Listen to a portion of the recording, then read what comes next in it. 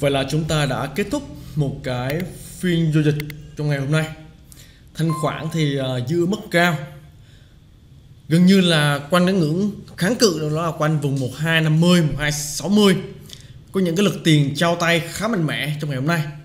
Có người bán, có người mua và có người ở lại đúng không? Rõ ràng thì cái nhóm ngành mà tăng khỏe trong ngày hôm nay lại nhóm ngành chúng ta không nghĩ đến.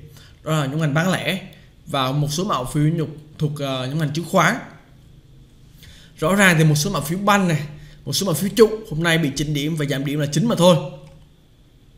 Và đặt đặt trong câu hỏi hiện tại nhé là liệu rằng là trường chúng ta có đạt đỉnh hay không? Và câu chuyện đạt đỉnh của trường chúng ta là ở đâu và như thế nào? Thì đây sẽ một cái video ngắn cho chị mọi người nhé đầu tiên, chúng ta nói về cái câu chuyện đó là đâu đó nhé đâu đó nhìn nhận là là là những cái khó khăn của vĩ mô hiện tại hiện tại đang có nhé đặc biệt nhất rõ ràng là về tỷ giá tỷ giá chúng ta đang gặp những cái khó khăn nhất định. Đâu đó thấy rõ ràng là là tỷ giá chúng ta đang gặp áp lực áp lực của cái câu chuyện đó là tỷ giá tăng. Đấy. Nhưng mà rõ ràng áp lực của tỷ giá tăng là có, nhưng mà có cái áp lực xấu hay không, hiện tại chưa. Tại vì là vẫn chưa có một cái action nào đó đến từ ngàn nước Việt Nam ta để cản trở vấn đề này. Chứng tỏ là họ đã lường trước được vấn đề này và họ thả lỏng vấn đề này để tập trung vào những câu chuyện chính mà thôi. Vậy thì để nói sâu hơn về câu chuyện đó là đó là về uh, lãi suất liên ngân hàng có tăng thời gian vừa qua. Thì đối với em thì thấy là lãi suất liên liên ngân hàng có tăng vừa qua nhưng chưa đủ để khẳng định là ảnh hưởng xấu. Tại vì là khi bond yield hiện tại bond yield vẫn còn đang ở mức ở mức giảm. Cắm đầu giảm liên tục ở đây. Bond yield giảm 10 năm này. Thấy không? Đó. Vẫn đang cắm đầu giảm như vậy. Rồi bond yield giảm một năm cắm đầu giảm như thế này. Thì với câu chuyện đó là uh, lãi suất liên hàng của đêm tăng như này thì không có nhiều vấn đề quá để chúng ta lo sợ hoặc là là là sợ hãi cái đoạn bây giờ nhá.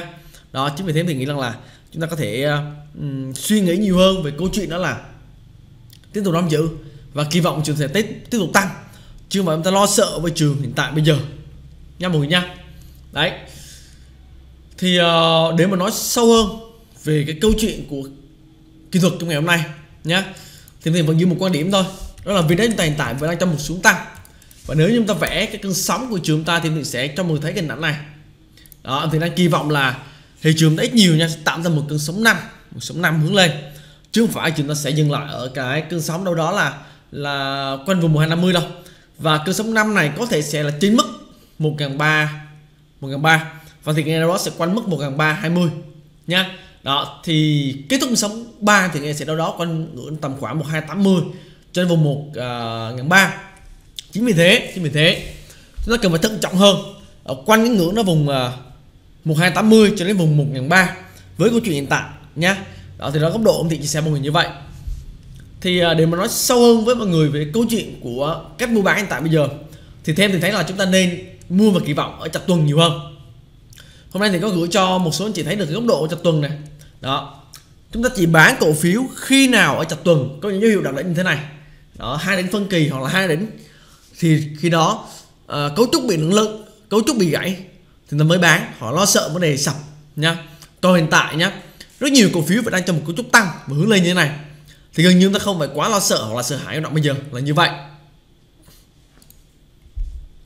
Đó câu chuyện như vậy nha mọi người nha. Và rõ ràng ờ, uh, vì chúng ta hôm nay có những hiệu rung lắc có những hiệu chỉnh. Nhưng thấy rằng là gần như là vẫn chưa phải là quá lo sợ cái đoạn này nhá. Vẫn là trong một cái sự uh, sự uh, gọi là can thiệp được và control được nhá. Chính vì thế chúng ta vẫn tiếp tục kỳ vọng nắm giữ. Và thì có ghi khá là rõ ở phiên sáng ngày hôm nay. Đó là thị trường ta vẫn trong một kịch bản đó là ở uh, đâu ta? Đó kịch bản là tiếp tục tích lũy nhá hướng lên trên.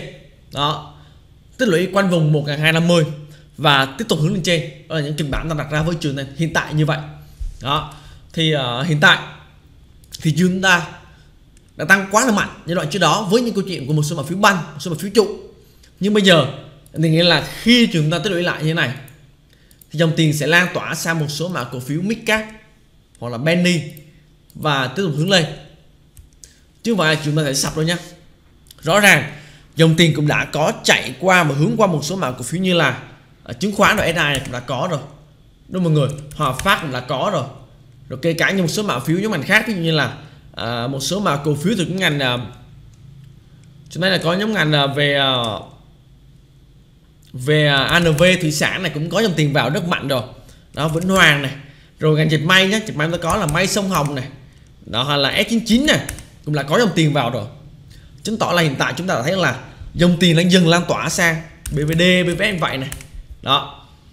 Trong khi đó cái mã cổ phiếu đó là mã cổ phiếu à, uh, một số mã cổ phiếu như là bất động sản hiện tại như là Khang Điền cũng là có nhóm ngành để dắt câu chuyện rồi. Cho nên đoạn bây giờ chúng ta không phải quá lo sợ đâu thì ngày này sẽ có một câu chuyện đó là thì chúng ta sẽ tích sẽ tích lũy và tiếp tục hướng lên mà thôi. Đó. Thì câu chuyện trường là như vậy. Thì uh, ngắn gọn mừng như vậy thôi. Đó.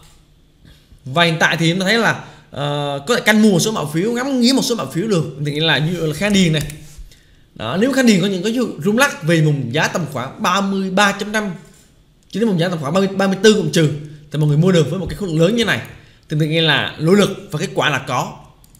Nha. BCG là mã phiếu hiện tại đang sát đáy. Hãy quan sát chờ đợi dòng tiền vào xem sao.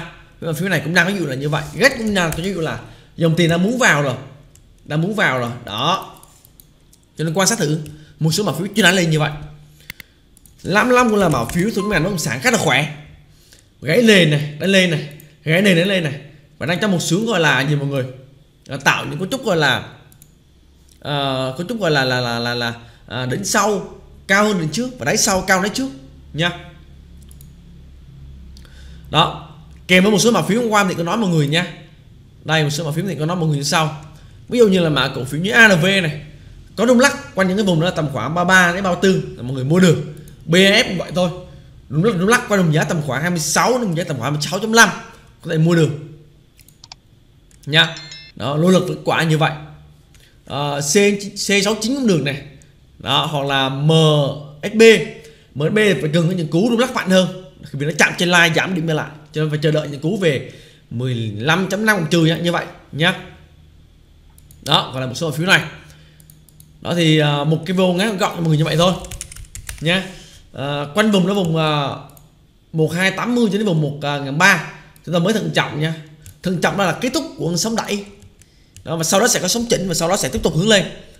Cho nên là góc độ nó sẽ như vậy như vậy làm ta phải sợ hãi chạy thôi trường đâu nhá đó. Thì xin chào mọi người. Và mọi người ở cái tiếp theo nhé xin chào mọi người nhá và chúc mọi người buổi chiều và với tình hình nha.